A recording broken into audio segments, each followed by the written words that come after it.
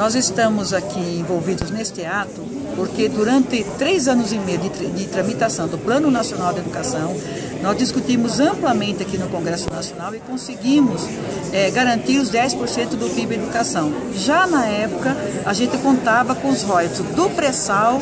é, e, e, do petróleo para complementar 10% do PIB educação. Por isso que nós é, aprovamos,